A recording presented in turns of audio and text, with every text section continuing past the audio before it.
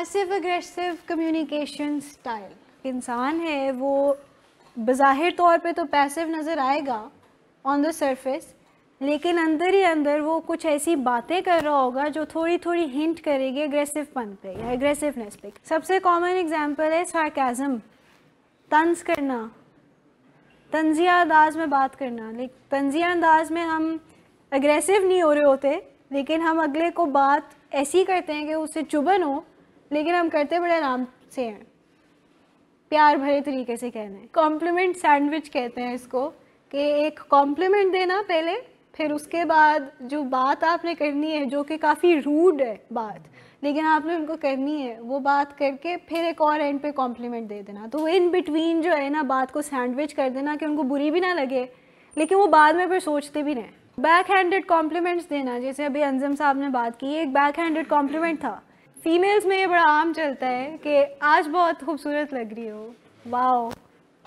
लेकिन कहीं ना कहीं पीछे ये मैसेज होता है कि पहले अच्छी नहीं लगती थी, आज अच्छी लग रही हो। तो पैसिव एग्रेसिव कम्युनिकेटर्स ऐसे होते हैं कि वो बज़ाहिर तौर पे बहुत चुप नज़र आते हैं, बहुत साइलेंट होते हैं, आराम से बात करते हैं, लेकिन जो उनकी बातें होती हैं, वो कहीं ना कहीं पोर्ट्रे कर रही होती हैं कि वो रिजेंटफुल हैं, कोई रंजिश है या उनका दिल दुखा हुआ है किसी बात पे, या उनको गुस्सा चढ़ा हुआ है किसी बात पे, लेकिन वो अग्रेसिवली उस चीज़ को कम्युनिकेट नहीं कर रहे।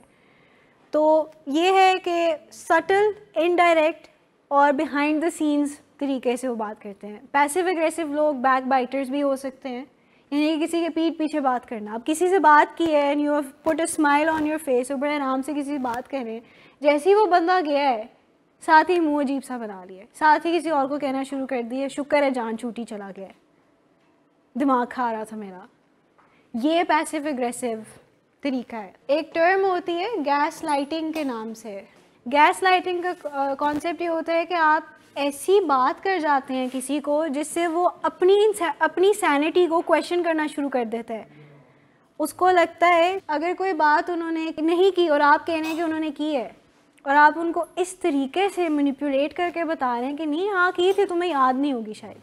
तो वो अगला बंदा सोचना शुरू हो जाता है कि शायद वाकई में मैंने की होगी।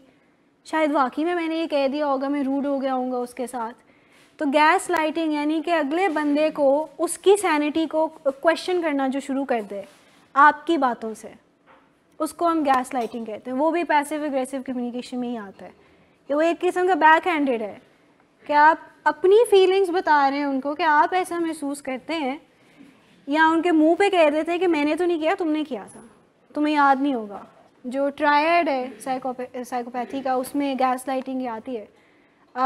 अक्सर का जो नार्सिसिस्ट होते हैं, वो बहुत ज़्यादा गैस लाइटिंग करते हैं, जो अपने आप को बहुत अच्छा समझते हैं। They feel like they're the centre of the universe तो वो हर किसी को इर्द गिर्द जो है, ऐसी बात कर रहे होंगे कि अगला बंदा सोचना शुरू हो जाएगा कि क्या हम वाकई में ऐसे हैं। क्या वाकई में शायद हमने ऐसे कह दिया होगा। आप ना थकी हुई हैं असल में पूरे दिन से तो आपको वहम हो रहा है, मैंने ऐसा कुछ नहीं किया। या ऐसे भी होता है कि मैं मैं तो आपका इतना अच्छा बेटा हूँ, मैं कैसे ड्रग्स कर सकता हूँ? आपने ये सोचा भी कैसे? आपने तस्वर भी कैसे किया कि आपका बच्चा ड्रग कर सकता है? ये भी गैस लाइटिंग और ये पैसिव अग्रेसिव कम्युनिकेशन है। कि आप बड़े आराम से उनको ये बता रहे हैं कि आप कैसे तस्वर कर सकती हैं कि मैंने ड्रग्स किए होंगे? मैं तो आपका इतना ताबेदार बेटा हूँ, या पूरा हफ़्ता मैंने आपका इतना ख्याल रखा है, पूरा हफ़्ता मैंने आपके साथ गुजारा है तो आप कैसे कह सकती हैं कि मैंने ड्रग कर लिया ये भी एक फॉर्म होती है इसकी। तो हम देख लेते हैं कुछ एग्जांपल्स पैसिव एग्रेसिव कम्युनिकेटर्स जो हैं, वो अक्सर अवकात अपने आप से ज़्यादा बातें करेंगे, बजाय कि किसी को कन्फ्रंट करेंगे।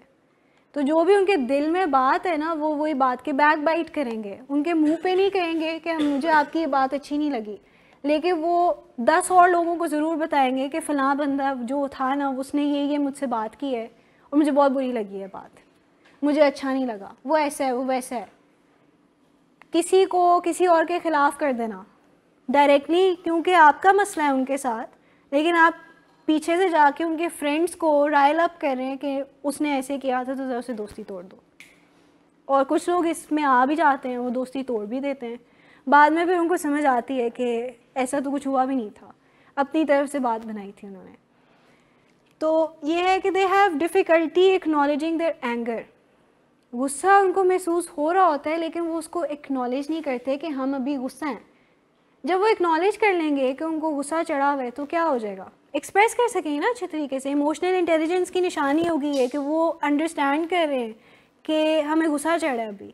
तो बजाय के पीठ पीछे जाके छोटे छोटे तरीक़ों से या इनडायरेक्ट तरीक़ों से किसी को हार्म पहुँचाएँ, वो अपने गुस्से को मे बी चैनलाइज करके असर्टिवली उनको बता दें कि आपकी बात अच्छी नहीं लगी मुझे। ये अक्सर का आपने देखा होगा कि कुछ लोग क्योंकि आजकल हम डिजिटल वर्ल्ड में रहते हैं तो ऐसे मीम्स लगाना शुरू कर देते हैं। हुआ कुछ उनकी अपनी लाइफ में हुआ होता है लेकिन वो इनडायरेक्टली अटैक उसको कर रहे होते हैं लेकिन वो मीम जो है वो लगा देते हैं। तो डायरेक्टली नाम लेके नहीं लिखते। तो वो इनडायरेक्ट कोई पोस्ट लगा देंगे जो हिंट कर रही होगी उस बंदे के बिहेवियर पे लेकिन उस बंदे को डायरेक्टली नहीं बता रहे होंगे। लेकिन उस बंदे को पता लग जाएगा कि this post is about me लेकिन ज़रा एक ईजी वे मिल गया ना लाइटर मोड में हम उनको तर्क बात कह जाते हैं। बट असल में this is a very rude thing to do use facial expression that don't match how they feel मतलब कि स्माइल करना जब गुस्सा चढ़ाओ. या जब किसी से बात नहीं करनी मूड अच्छा भी है तो मूड ख़राब कर लेना. नॉन सीरियस स्माइलिंग आस्किंग करके बिल्कुल. बहुत अगर आप किसी से खफा भी हैं तो आप बज़ाहिर तौर पे उनसे बड़े आराम से बात करेंगे. बहुत गर्म जोशी से मिलेंगे उनके साथ. लेकिन जैसे ही वो इंटरेक्शन ख़त्म होगी और उसके बाद फिर आप शुरू हो जाएँगे उनके बारे में बात करना किसी और से कि गिले शिकवे करना। कि वो ऐसा है उसने ये किया है उसने ये पहना हुआ था और देखा वो कैसा लग रहा था या कैसी लग रही थी इस टाइप की बातें करना। तो ये भी पैसिव एग्रेसिव में आता है। उसके बाद यूज़ सार्केज़म तंजिया अंदाज में बात करते हैं। पैसिव एग्रेसिव लोग ज़्यादातर तंजिया तरीके से बात करते हैं। और उनकी टोन भी थोड़ी सी सार्केस्टिक होती है। लेकिन कुछ लोग जो हैं, वो सार्केज़म को भी एक्चुअल में मान जाते हैं कि शायद वाकई में ऐसे है। तो वो सार्केस्टिक होकर किसी को कॉम्प्लीमेंट दे देंगे। गुस्सा आप अगर किसी वजह से फील कर रहे हैं, आपको चिड़चिड़ापन होया हुआ है या फ्रस्ट्रेशन है किसी वाले से, अगर आप किसी के साथ शेयर कर देते हैं तो उससे भी जो है, आपका ज़रा दिल का बोझ हल्का हो जाता है। आप उनको सिंपली ये कहें कि मैंने ये सीखा है कि जब मुझसे खुद ना मैनेज हो पाए, मेरे स्किल्स ना काम करें मेरे लिए तो मैं आप लोगों से शेयर करूँ और आप लोग मेरी हेल्प करें इसमें। ये कम्युनिकेशन स्टाइल्स हैं जो हर कोई इस्तेमाल करते हैं तो इसमें नॉर्मल या नॉर्मल स्टेट ऑफ़ माइंड वाली बात नहीं है। इसमें it's just that there are some right ways to talk about things there are some wrong ways to talk about things ये वाला ठीक नहीं है। देखिए पैसिव अग्रेसिव सार्केस्टिक होना बैक हैंडेड कॉम्प्लीमेंट्स देना बैक बाइटिंग करना, ये तो चीज़ें ठीक नहीं है ना? तो पहले जितने, जो तीन कम्युनिकेशन स्टाइल्स हैं पैसिव अग्रेसिव और पैसिव अग्रेसिव ये तीनों ही ठीक नहीं है। जो लास्ट वाला है assertive that's the best way to communicate वो अफेक्टिव कम्युनिकेशन होती है assertiveness they will deny that there is a problem कोई मसला हो भी रहा हो ना, कोई प्रॉब्लम हो भी तो वो बाहिर तौर पे आपको ये कहेंगे कि कोई मसला नहीं है मुझे, बिल्कुल ठीक है एवरीथिंग्स फाइन वो भी तरीका ठीक नहीं है ना कि आप साइलेंस में जा रहे हैं। फिर अगले को लगेगा कि there is nothing wrong with what I am saying तो वो कंटिन्यू करते चले जाएँगे, वो बात करते जाएँगे, आपको गुस्सा आता जाएगा, एक पॉइंट आएगा कि आप साइलेंस से वायलेंस में चले जाएँगे। इन रिस्पेक्ट अगर आप कह रहे होते ना प्रॉपरली तो आप असर्टिव होकर उनको बता देते कि मुझे आपकी ये बात अच्छी नहीं लगी। आई एम अनकम्फर्टेबल पॉसिबल है, होता है ये। मदर्स थोड़ा सा एक ऐसा रिलेशनशिप है, लेकिन आप हो सकते हैं असर्टिव अगर आप तरीके से उनको बताएँ तो प्रॉब्लम हल भी हो सकती है। तो अगर आपको बात उनकी कोई अच्छी नहीं लग रही ना तो आप सिंपली उनको बिठा के कह सकते हैं कि मैं बस आपको अपनी फीलिंग बताना चाह रहा हूँ। लेकिन अगर खामोशी इख्तियार करने से कोई प्रॉब्लम नहीं आ रही तो आप सेफ़ एग्ज़िट ज़रूर ले लें। लेकिन आई वुड सजेस्ट कि आप अपनी फीलिंग्स उनको ज़रूर बताएँ क्या करीब वो किसी प्रॉब्लम में ना बदल जाए। Appear cooperative while purposely doing things to annoy and disrupt एक बड़ी कॉमन एग्ज़ाम्पल यहाँ पर जो मिलती है वो ये है कि पेशेंट्स इकट्ठे होते हैं और बहुत अच्छे यानी कि पिक्चर दे रहे होते हैं, बड़ी अच्छी बातें कर रहे होते हैं। लेकिन जैसे ही कोई काउंसलर जो है, करीब से गुजरता है तो फ़ौर जो है ना स्लिपरी बातें शुरू हो जाती हैं। फ़ौर बातें स्टार्ट हो जाती हैं ड्रग्स की, कि हाँ ये फ़लाँ ड्रग करने जाके, जब कोई ज़्यादा देर से रिलेशनशिप में हो या इस तरह हो तो ये सटल क्यूज़ पिकअप हो जाते हैं कि there something wrong reading in between the lines हो जाता है। लेकिन बार बार जो ये हम मेंटल जिमनास्टिक्स या गैसिंग गेम खेलते रहते हैं ना it's actually taxing for us mentally taxing for us थक जाते हैं एक पॉइंट पे आके कि अब हम डिसाइफर ही करते रहे इसकी बात को। तो बेहतर ही होता है कि आप फ्रंट होके स्ट्रेट फॉरवर्डली बता दें कि हो क्या रहा है। या वॉट यूर फीलिंग एक पॉइंट आता है कि मेंटल जिमनास्टिक्स जो आप कर रहे होते हैं, आप थक जाते हैं कर कर के। आपकी इमोशनल या मेंटल कैपेसिटी ख़त्म हो जाती है to decipher whatever they're saying कि आप फिर सारा टाइम गैसिंग गेम ही खेल रहे होते हैं कि पता नहीं इसका मूड ठीक है या इसको कुछ पता नहीं अजीब लग रहा है या मेरी बात नहीं अच्छी लगी, कुछ कहना चाह रहा है देर समथिंग रॉन्ग कोई अल्टीरियर मोटिव है इसका इस बात में? तो वो गेसिंग गेम जब हम खेलते रहते हैं ना तो कभी भी इफ़ेक्टिव कम्युनिकेशन होती नहीं। तो हेल्दी रिलेशनशिप्स का प्लेटोनिक रोमांटिक वट सबसे बेस्ट इफ़ेक्टिव कम्युनिकेशन ये है कि स्ट्रेट फॉरवर्ड होकर उनको बताएँ अपनी फीलिंग्स कि this is what I am feeling और इकट्ठे बैठ के बात करें इस बारे में। अच्छा use subtle sabotage to get even बदला लेना। छोटा मोटा बदला लेते रहना। कोई रूममेट आपको तंग कर रहा है तो उसके रूममेट के यानी कि कोई चीज़ ख़राब कर देना।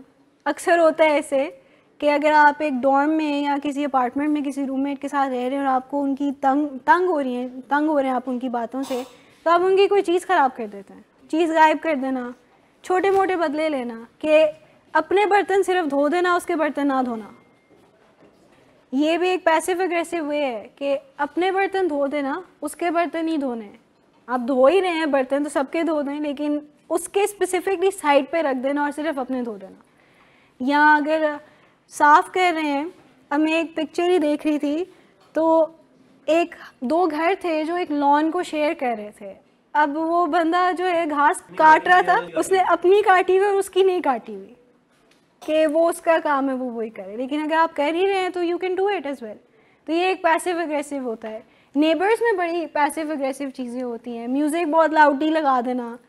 अगर अगला साथ घर से शोर आ रहा है तो आप लोग भी बड़ा ऊँचा म्यूज़िक लगा के उनको तंग करने की कोशिश करते हैं, शोर मचाने की कोशिश करते हैं।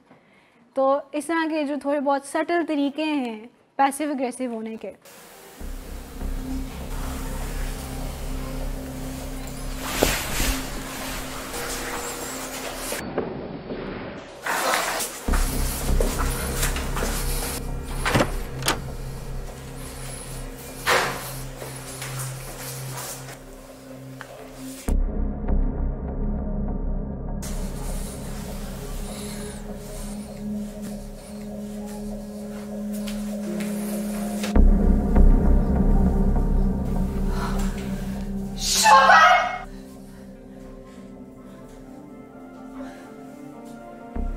शराब नोशी की वजह किरदार की खराबी नहीं, मूड की खराबी है। शराब नोशी कभी भी नशे की बीमारी में बदल सकती है। नशे की बीमारी हर स्टेज पर काबिल इलाज है। मदद हासिल कीजिए, क्योंकि वो ऐसा नहीं करेगा।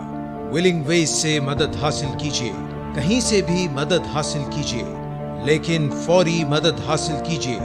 जिस मुआवजे के इंतज़ार में आपने बहुत देर कर दी, अब वो दस्तक दे रहा है। मदद हासिल कीजिए। मदद हासिल कीजिए।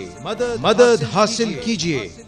इम्पैक्ट जो है पैसिव अग्रेसिव होने का वो ये है कि एक तो आप दूसरों से एलियनेटेड हो जाएँगे, यानी कि दूसरों से दूर हो जाएँगे। आप रिलेट नहीं कर पाएँगे किसी और से, अपने इन रवैयों की वजह से। आप जो है एक पावरलेसनेस की पोजीशन में बस फंसे रहेंगे कि आप ना तो कुछ कर रहे हैं ना आप आप फ्रंट किसी को बता रहे हैं कि आप कैसा महसूस कर रहे हैं या हो क्या रहा है। और साथ ही साथ आप कुर्ते भी जा रहे हैं अंदर कि आपकी बात कोई सुन क्यों नहीं रहा, आपकी बात कोई समझ क्यों नहीं रहा। क्यों वो ऐसे कर रहे हैं, क्यों हमसे ऐसे बात कर रहे हैं? तो पावरलेसनेस की स्टेट आती है। और जो आपकी रिजेंटमेंट्स हैं, वो जो हैं, ज़्यादा बाहर आना शुरू हो जाती हैं और जो रियल इश्यूज़ हैं, वो कभी एड्रेस नहीं होते। तो आप रंजिशें ज़्यादा पाल लेते हैं। तो आप जब बात भी करते हैं किसी से तो बड़े औखे तरीके से बात करते हैं। पैसिव कम्युनिकेटर्स जो हैं, वो ऐसी चीज़ें कहेंगे कि I am weak and resentful मैं कमज़ोर और रंजिशें पालने वाला हूँ।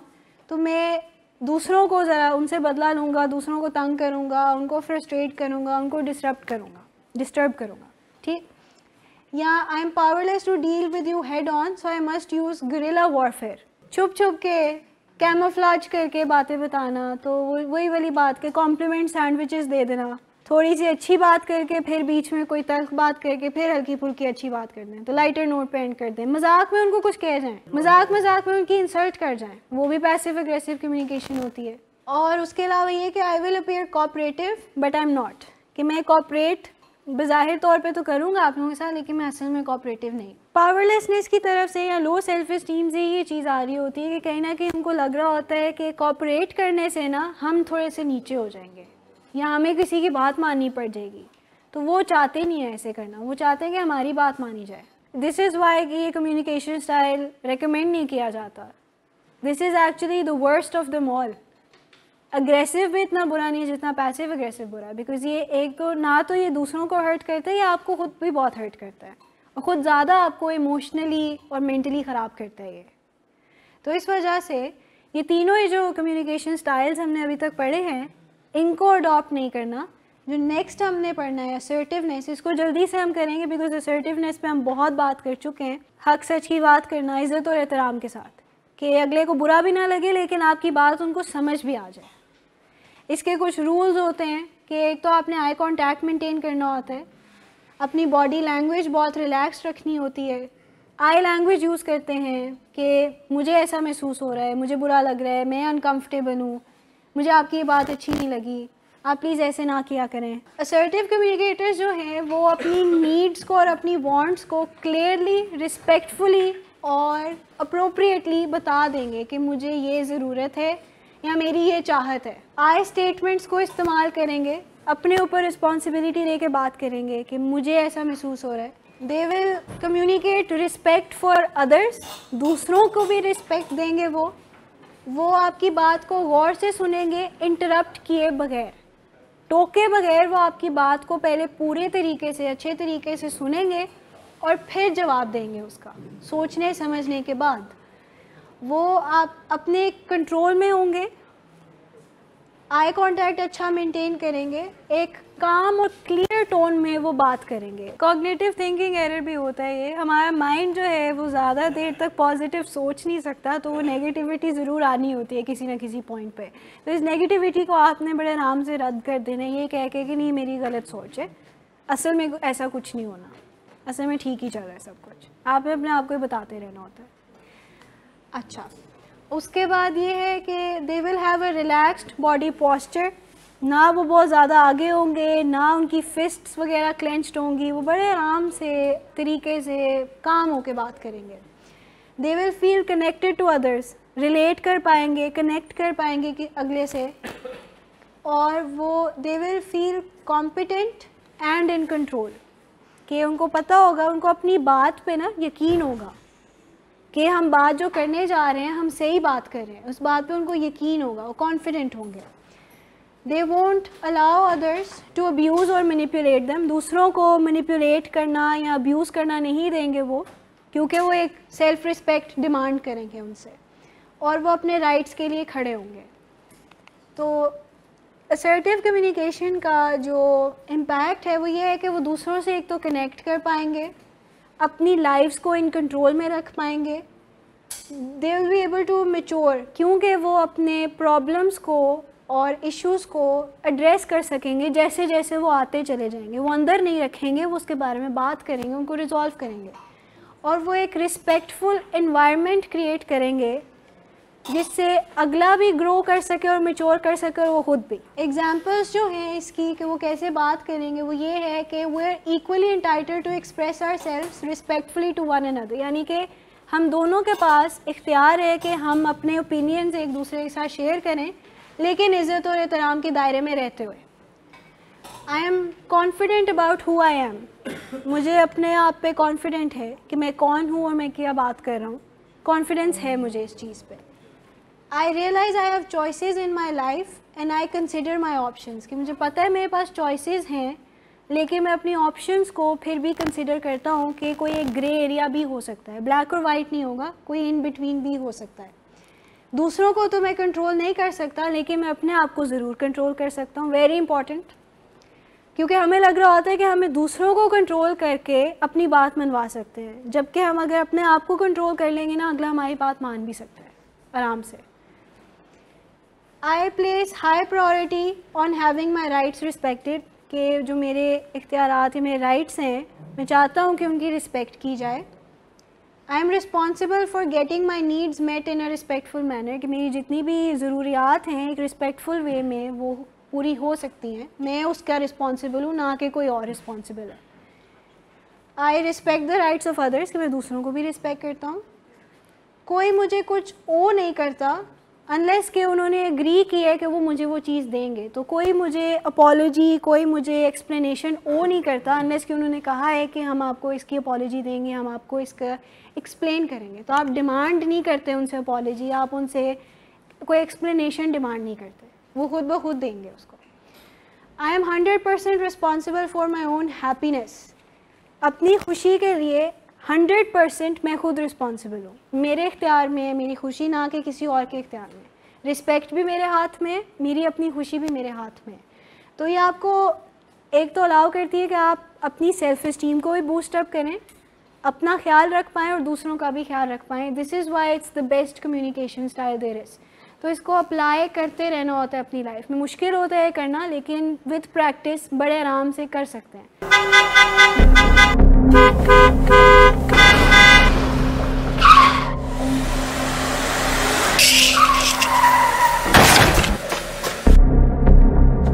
घटिया इंसान इतनी देर से गेट क्यों खोला? सोए हुए थे तुम क्या? सर मैंने तो मिनट भी बकवास नहीं ना कर तुम मेरे साथ। क्या कर रहे हैं आप? अब्बा जी घर पे हैं नशे में गालियाँ दे रहे हैं। खुदारा होश में है क्या हो गया आपको? होश में कैसे आऊँ?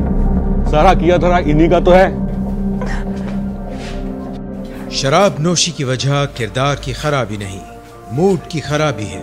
शराब नोशी कभी भी नशे की बीमारी में बदल सकती है। नशे की बीमारी हर स्टेज पर काबिल इलाज है। मदद हासिल कीजिए, क्योंकि वो ऐसा नहीं करेगा। विलिंग वेज से मदद हासिल कीजिए, कहीं से भी मदद हासिल कीजिए, लेकिन फौरी मदद हासिल कीजिए, जिस मोजे के इंतज़ार में आपने बहुत देर कर दी। अब वो दस्तक दे रहा है। मदद मदद हासिल कीजिए। मदद मदद हासिल कीजिए। मदद मदद हासिल कीजिए।